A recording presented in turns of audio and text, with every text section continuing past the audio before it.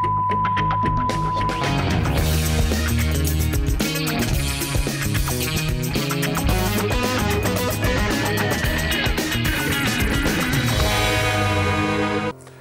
давайте перейдем уже к, так сказать, к актуальным и чуть более, э, э, чуть более углубленным обсуждениям каких-то тем и направлений. Например, первый частный, вот тут каждое слово, друзья, на вес золота, пожалуйста, внимательно.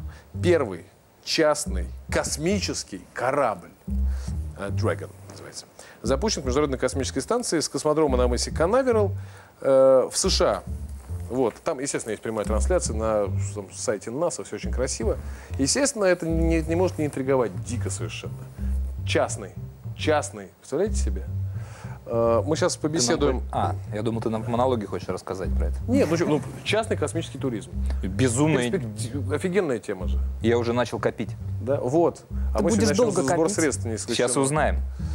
Э, вот мы сейчас побеседуем с человеком, это редактор журнала «Новости космонавтики», зовут его Игорь Борисович Афанасьев. Потом, и тут уже, я так думаю, наших э, зрителей ждет сюрприз, э, наш редактор пообещал нам установить, внимание, прямой скайп-контакт с одним из космических туристов, который сейчас находится на орбите в одной из, так он сказал, на- одной из э, космических станций околоземных. Итак, сейчас приветствуем Игоря Борисовича Афанасьева. Потом, потом, Ксения. Видите, мы бы про, космо- про- про космос обсуждали, а что если про АвтоВАЗ?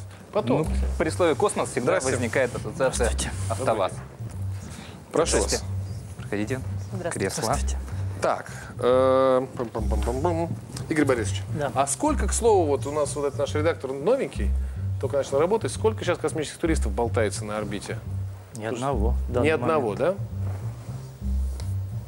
А было их? Их же тоже на пальцах одной руки можно, да? Ну, побольше, но тем не Пересчитать. менее меньше десятка. Меньше десятка, да? Но с одним из них каким-то образом мы свяжемся в конце. программы. Ладно, ладно, ладно. Бог тебе судья. Кого-то забыли. Уже мне это не, не нравится, да. Скажите, это перспективная отрасль направления космонавтики? Вот такая вот частная, Частная. туристическая. Ну, тут надо делить. Я думаю, что частное – это частное. Туризм – это немножко другое.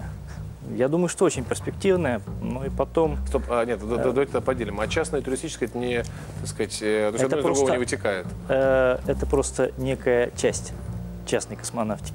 То есть бывает частная космонавтика и вовсе не туристическая, а вполне себе Конечно, научная. да, да. То, что вот мы сейчас видим, это как раз э, не связано с туризмом никаким образом, запуск Дрэгона. Да. А он с какой целью? Ну, э, как вы знаете, американцы вывели эксплуата- из эксплуатации свои космические шаттлы. Там, из-за того, что уже Мгм. просто программа закончилась. Но э, полеты на Международную космическую станцию продолжаются. И вот они должны снабжать э, свой сегмент американский. Э, ну и для этого делается такая частная инициатива, точнее, инициатива, поддержанная государством, но тем не менее снабжением станций должны заниматься частники. Какая выгода участников? Ну как, это достаточно большие деньги. Вот. Но у государства выгода такая, что э, частные корабли, разработанные э, при некотором участии государства, все равно получается дешевле, чем же Слушайте, а получается, что технологии дошли уже до такого, и вообще развитие науки и техники, а главное, что даже не науки, а, а вот, как бы сказать, именно технологии, именно, э, так сказать, использование науки, воплощение ее в конкретные, там, не знаю, изобретения и штуковины железные, дошло до такого, что, что частная компания, не знаю, частная лаборатория может себе позволить разработать, Да. спроектировать, Да. изготовить Да. и запустить некую структуру, которая будет на околоземной орбите заниматься какими-то вполне себе полезными и научными изысканиями, так? Ну, э, не надо забывать, что реальной частной космонавтики гораздо больше, чем вот. В каком Не смысле? год. Что значит реальный частный? Но э, по большому счету все фирмы американские, которые занимаются космосом, они же государству не принадлежат. А НАСА? НАСА – это организация, которая курирует всю программу, которая раздает, грубо говоря, деньги. А делают это фирмы Lockheed Martin, То есть Boeing. НАСА заказчик, То есть а, а- это а крупные все фирмы. подрядчики, они как бы Ну, они частные. как бы были частные. Ну вот э, нынешняя фирма SpaceX, которая запустила вот сегодня Dragon, она отличается от всех остальных, то, что, во-первых, она небольшая, сравнительно недавно созданная э, инновационная фирма. Сейчас в ней порядка 2000 человек работает, а начиналась она 10 лет назад там, с маленькой организацией, 150-200 человек.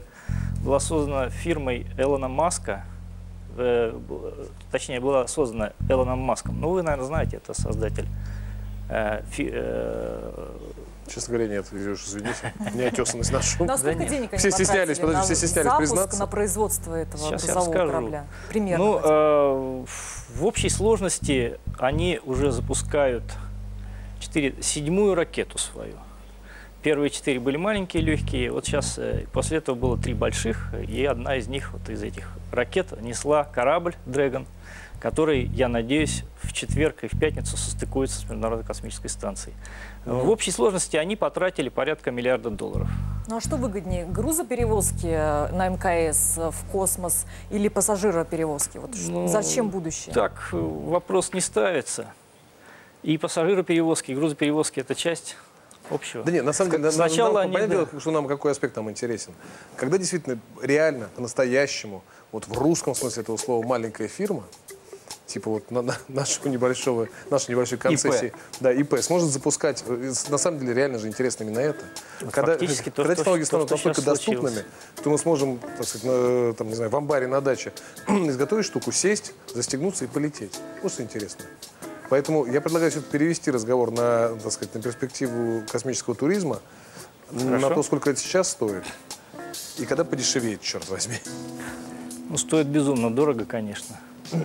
Э, Вот э, доставка туристов начиналась э, с 20 миллионов 20 долларов. миллионов, я помню. Вот, а сейчас уже, ну, я так предполагаю, где-то 50-70. Ну, никто конкретно сумму не говорит. Стоп, а сейчас Я 50-70? перестаю Да, копить. стало дороже, А чем почему? начиналось. Ну, Цены растут. Цены должны Цены растут быстрее, чем развитие идет. Нет, расходы растут на космос. Ничего не Растет понимаю. зарплата сотрудников, Игорь если, Борисович, если говорить про нашу отрасль. я ничего не понимаю. Давайте Возили туристов мы. Это противоречит любому всем Нет. экономическим законам. Есть либо космический туризм развивается по неэкономическим законам, вот, либо, э, либо у меня какое-то ущербное представление об экономике. Потому что с, с количеством, с, с, условно говоря, более с доступностью э, этих технологий, их использование должно естественным образом дешеветь. Правильно? Да. Поэтому, так сказать, не знаю, радиоприемник сейчас в любой семье, а раньше на них надо было копить Я годами.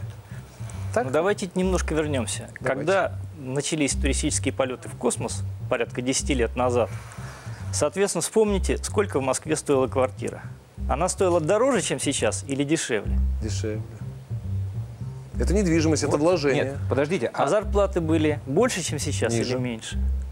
Ну, хотя у кого как, конечно. Ну, это понятно. Ну, но- по-моему, космическая Нет, отрасль, она одной- вообще развивается отдельно от экономических Да? законов, от экономики. Это затратная отрасль изначально, и все делается только ради науки и ради престижа страны. Ну, не ради Да? науки. ну, Скажите, Ну, а больше, какие, большей как- степени. какие предложения на рынке частной космонавтики я понять не могу. Вот спутники, ладно, какие-нибудь спутники запустить, может быть, предложение на мкс товар свозить, туризм. Товар свозить. ну, Ты говоришь, как туризм, какой-то колумбийский э, барон. В общем, э, Товар свозить.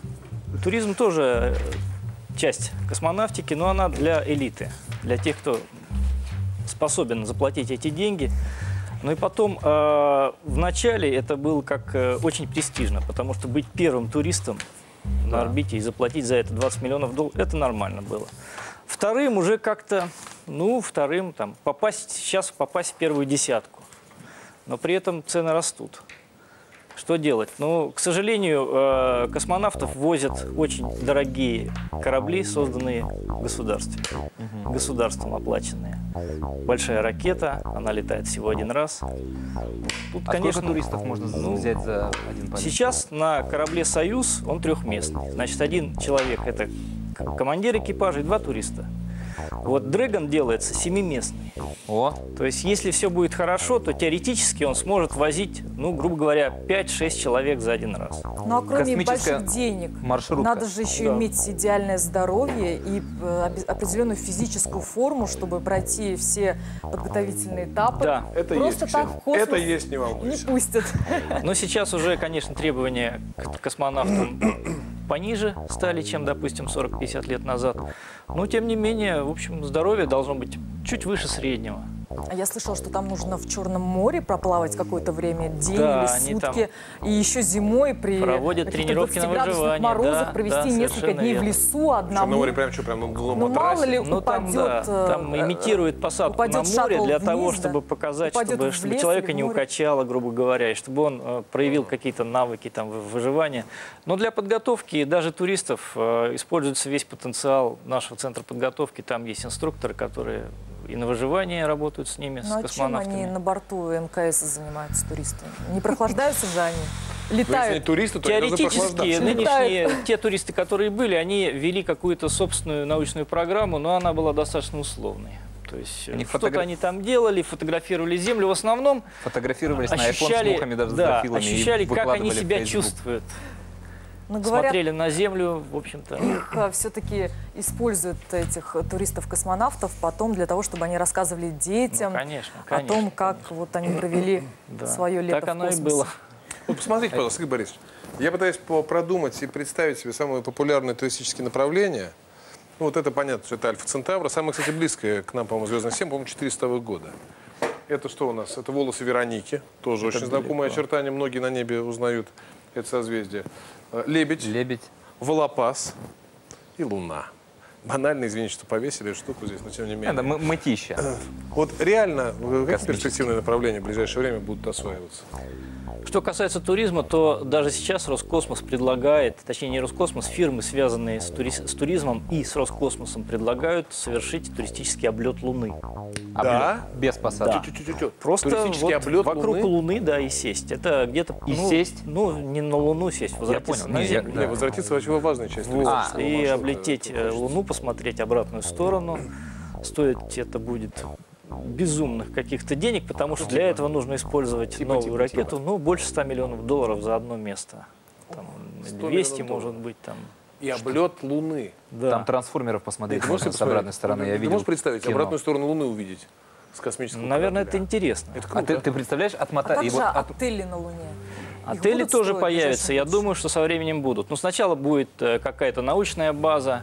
Если наладим транспорт людей, будем, если удастся уменьшить вот стоимость доставки человека на орбиту и грузов, ну, хотя бы в 10 раз, тогда уже э, надо будет чувствовать себя свободнее, и можно будет говорить и об отелях на Луне, ну уж об отелях на орбите точно, потому что сначала появятся прежде всего гостиницы на орбите. Ну. Уже сейчас они делаются, сейчас разрабатываются, но, к сожалению, Что вот появится? Гостиницы сейчас уже- на орбите. Они сейчас уже делаются. А уже где, есть где? реальные планы. Американцы разрабатывают. Американцы. Нет, американцы делают. разрабатывают? Частная Я фирма, себе э, Алтай. Заря, Восток. Ну там, Там, а, на орбите. Милости просим. Фирма есть такая Бигелоу. Она занимается гостиничным бизнесом в Америке. Достаточно известная фирма. Вот они сейчас разрабатывают такие надувные отели, где люди могут прилететь и э, наслаждаться видом Земли из космоса, невесомостью. А бассейн будет? Ну, если это надо будет, то Надо почему будет. нет? Прыгать неудобно Надо. будет. Ну, а Надо будет это не- всплывать. это завис. Прыгнул в бассейн и завис на Лично мне страшно. Я и на Луну не хочу, и в Ты на отеле Луну там даже не буду хочешь? жить. Ну, сейчас- Насколько это безопасно? А, Вот как это безопасно. оценить? Ну, Статистики-то э, нет. Статистика, Я есть статистика попадать. космических полетов пилотируемых. Она э, сейчас э, пилотируемые полеты, ну, можно оценивать так, как вот была гражданская авиация, грубо говоря, где-то на рубеже 50-х, 60-х годов. Такая вот э, надежность средств доставки. То есть не экстремально опасно, но тем не менее сильно уступает по опасности любому средству транспорта там, из тех, которые Ну, сейчас трудно есть. сказать, но ведь э, вот э, людей на самолетах гибнет гораздо меньше, чем, допустим, в, в железнодорожных катастрофах. То есть катастрофа случается, правда, Потому вот что это редко. Ну, Выжить-то летает, можно ну да. в железнодорожной катастрофе, Да. а если к самолету пойдет, там Без шансов шансов. нет Тут никаких. надо Здесь то же самое. Успеть в первых рядах, потому что когда это все разовьется, опять начнутся вот эти вот пробки, постоянные корабли, вот эти мигалки с корабля, корабли с мигалками. Давай сейчас ненадолго прервемся, ладно, а потом к нашей беседе вернемся.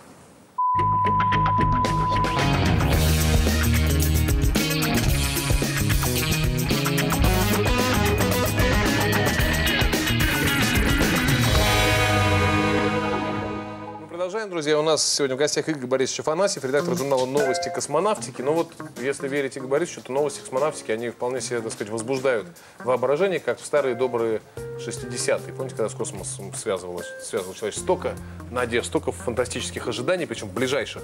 И песни тогда появлялись, как там на Марсе будут яблони цвести. Уф. Э, Строятся отели на орбите. Вы знаете, уже предлагаются, ну, есть планы по предложению, так сказать, специальной туристической программы космической по облету Луны с э, наслаждением видом э, обратной стороны, dark side of the moon. Ну вот продолжаем. Значит, волосы Вероники, Волопас, Лебедь и Альфа-Центавр пока нам не грозят. А вот Луна, покажите, пожалуйста, посерединке. Золотое кольцо Вполне себе, космоса. да, вполне себе близкая перспектива. Так, ну давайте, слушайте, все-таки я предлагаю сейчас, коль уж наш редактор обещал нам м, сеанс связи по скайпу впервые в истории нашей программы, а может и человечества, с неким космическим туристом. Конечно, подозрительная история, потому что Игорь Борисович утверждает, что... Ну ладно, не важно. Я уже Давайте. дозвонился. Дозвонился? кстати. Давайте, да, давайте сейчас по- поговорим с э, космическим туристом. Он сейчас на орбите. Я не Иван. знаю, эм, Ваня. Да-да-да, слышу вас. Вы слышите меня? Слышим. да, боюсь, что... А вы космический турист, да, Иван? Да-да-да-да-да. И сколько дней вы уже на орбите, Вань? 27 у меня практически не осталось еды. К сожалению, вода еще есть, но питаться приходится одними чизбургерами. Вы проводите какие-нибудь э, научные эксперименты на орбите? Нет. А цветы кому? Что-что? Цветы кому? Не могу точно сказать. Я думаю, что это его запас еды. Послушайте, а когда вы собираетесь, когда вы собираетесь вернуться? Э, К сожалению, вернуться я не смогу, поскольку меня послала сюда Ланта Тур, э, но они обанкротились, как вы знаете, наверное. А, и вы забаррикадировались в отсеке. Ну, скажем, по нужде. Я не могу отсюда. П- Спасибо. Спасибо. Удачи смелый, вам, да. смелый землянин и благородный. Спасибо. Вот ты помнишь ситуацию, которую ты описывал, вот когда на даче где-нибудь кораблик стартовый, вот когда будут отмечать день рождения, представляешь, компания выбили миски вот так на голову. Я хотел сейчас обратиться к нашему редактору, э, который только что устроился на работу и организовал э, звонок космическому туристу на орбиту. И сначала хотел сказать, конечно, что э, это первый и последний день, как часто бывает, работы его у нас. А потом вспомнил э, отмазки, которые клеил Роскосмос относительно Фобос Грунта, и подумал, что ты работаешь. Ты нужен российской космонавтике. Ты нужен российской космонавтике. Да, слушайте. Ладно, Игорь Борисович, я даже не знаю, на чем закончить. А давайте так, вот знаете, что-нибудь такое красивое и обобщающее. Будет же, э, наступит же такой момент, когда вот такие сеансы связи с космическими отелями действительно будут вполне себе, э, так сказать, обычным Конечно, делом. наступит. Да? Скоро? Игорь Борисович, скоро. Я думаю, что, ну, если все пойдет так, как сейчас идет, если не будет никаких кризисов, ну, лет 10, наверное, нормально. Ну, ну, максимум 20.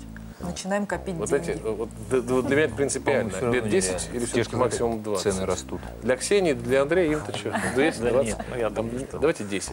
Давайте. 10 лет, друзья, и это будет реально. Хочешь, мы тебя похороним, там, разовьем где-нибудь, может, написать Ну ладно завещание. Обожаю своих коллег. Вы знаете, редкое удовольствие с ними работать в одной программе. Спасибо большое, Игорь Борисович. Спасибо. А, Игорь Афанасьев был с нами сегодня, редактор журнала «Новости космонавтики».